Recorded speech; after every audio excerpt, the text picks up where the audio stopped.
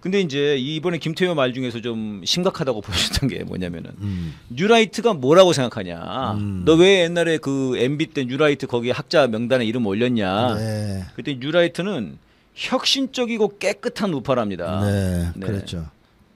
한마디로 제일 잘났다 자 우리들이. 네. 그러니까 우리들이 정권을 잡는 건 당연한 거다. 네. 근데 그렇게 당당하면 근데 아니래도 자기는 지금 네, 왜 뉴라이트라는 얘기를 안 합니까? 그리고 지금 없대요 뉴라이트 인사들이. 어, 어, 웃기는 거죠. 예. 김형석도 그래요. 그래요. 왜 그러는 거예요, 선생님? 왜 왜 아니라는 거예요? 그러니까 뉴라이트가 나쁘다는 걸 알아요. 지들도 지들도. 그리고 혹시 그렇지 않다고 생각하더라도 그걸 국민들이 싫어한다는 것도 아는 거죠. 아. 그러니까 대놓고 공개를 못 하는 거죠. 네. 차라리 우리는 뉴라이트 정권이다. 그러니까요. 이름도 뉴라이트 당으로 바꾸고 네. 예, 뭐 뉴라 그- 뉴라당. 예, 뉴라당 이렇게 바꾸든가. 네. 그렇게 대놓고 하면 좋겠는데 차라리 그 승부가 되죠, 그럼. 그러기에는 아. 지금 상황이 아니다. 아. 사람들이 받아들여 줄 수 없을 것 같다. 아. 너무 문제가 있으니까. 예. 그런 걸 가- 알다 보니까 뉴라이트 정부를 구성하긴 하는데 음. 아닌 척 하려고 아닌 척 하려고. 애를 많이 씁니다. 김형석도 자기가 뉴라이트 아니라 그러잖아요. 예, 아니라고 그러죠. 지금 다 아니라고 그래요. 네, 뉴라이트들이 다 자기 뉴라이트 아니라 그래요. 네. 그럼 누가 뉴라이트일까요? 누구예요, 누구? 윤석열? 어, 참. 윤석열은 뉴라이트라는 의미도 모른다는데요. 네, 그러니까 진정한 뉴라이트네. 아, 아 전혀 모르니까. 네, 그걸 모르니까. 네. 그렇군요. 네. 어, 예. 이번에 그 저 밀정으로 이름 날렸던 김순호라고 있었지 않습니까, 선생님? 경찰 뭐 네, 했- 경찰국장 됐죠. 했던 네. 어, 근데 이제 그 김순호가 밀정이었다는 그 사실을 음. 을 제보했던 네. 어, 그 공익 제보자라고 음. 할수 있죠. 음. 이 사람을 지금 어, 소환 조사한다고 합니다. 압수수색하고. 네. 야, 그러니까 도둑이야라고 외치면은 그냥 자- 잡아가는. 잡아가는 거죠. 네, 네, 이제 그런 거 하면 안 돼요. 하면 안 돼요. 네, 어떻게 세- 됩니까? 세상이 바뀌었습니다. 네. 불의가 정의를 단죄하고 네. 또 악이 선을 응징하는 그야말로 뒤집힌 세상이 온 거죠. 야. 참 충격적이죠. 이게 이게 국가를 완전히 무너뜨리는 행위 아니겠습니까? 그러니까 말입니다. 그러니까 최소한의 이런 공정성, 정의 음. 이런 걸 다 파괴하고 있잖아요. 윤석열이. 예. 그러니까 이거는 국가 파괴 행위입니다. 국가 방해, 예. 파괴. 그러니까 그야말로 정말 반국가 세력인 거죠. 네, 진정한 반국가 세력은 윤석열 일당이죠. 예.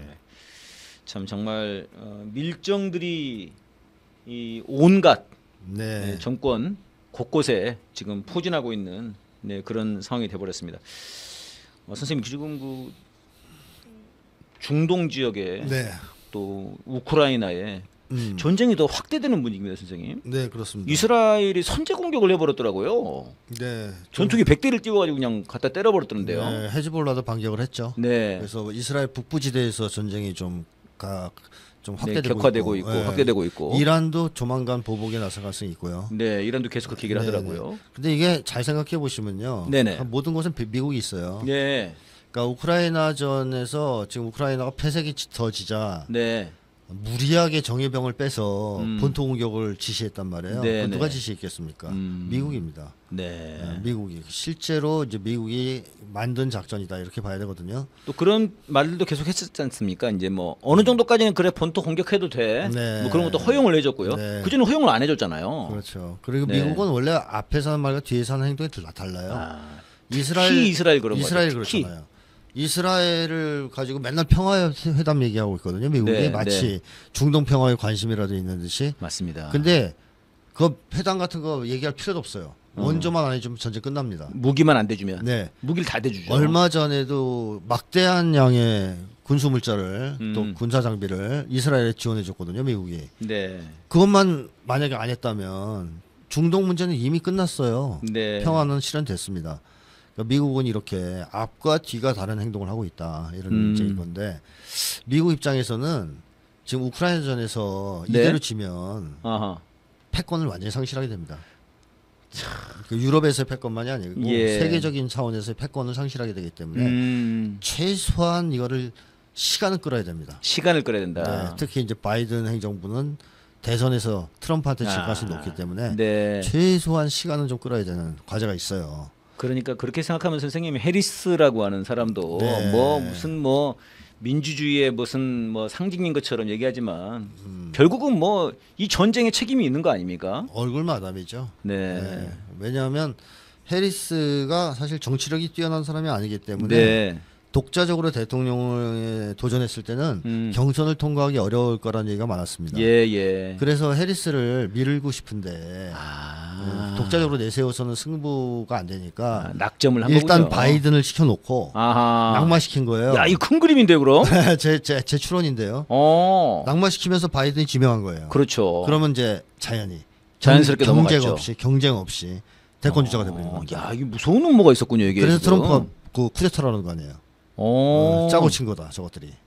짜고 친 건 맞는 것 같은데요, 지금 거의 분위기는. 그렇다고 봐야죠. 아하. 근데 그렇다면 해리스는 결국 지금의 강경 세력들 예. 전쟁을 지속시키고 확대하기를 원하는 이 강경 세력들의 얼굴마담이다 이렇게 봐야죠. 음. 정치력이 있는 사람은 아닙니다. 그렇게. 네.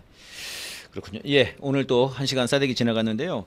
네, 여러분 그 어, 제가 어, 활동하는 민족이라고 하는 단체에서 추석 선물을 판매를 하고 있습니다. 네, 이미지 한번 띄워주시겠습니까? 네. 어, 저희 민족위원회에서는 촛불 집회 때마다 그 탄핵 스티커를 여러분께 예, 나눠드리고 어, 평화 촛불을 하고 있는 단체인데요.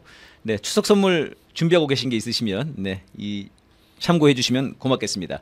네, bit.ly 슬래시 2024 추석 선물. 네. 피디님 고맙습니다. 네, 지금 아, 윤석열 탄핵 100일 총력 운동을 이제 9월부터 시작을 합니다. 정기 국회가 시작될 때부터 해가지고 어, 지금 이제 끝내야 됩니다. 아, 자칫하면은 어, 계엄 음, 전쟁으로 갈 수도 있고요. 지금 이제 이재명 대표에 대한 사법 공격이 또 아주 극에 달할 그런 어, 상황에 있습니다. 민생은 지금 파탄 지경에 있고요. 그래서 우리 국민들이 힘을 합쳐가지고 이 100일 안에 예, 윤석열을 끝내자 아, 이렇게 해서 국회를 압박을 해야 될 것 같습니다. 국회의원들이 정신을 좀 똑바로 차리시고 윤석열 탄핵에 앞장서 주시기를 바랍니다. 이것으로 오늘 싸대기 마치도록 하겠습니다. 선생님 수고하셨습니다. 고맙습니다. 그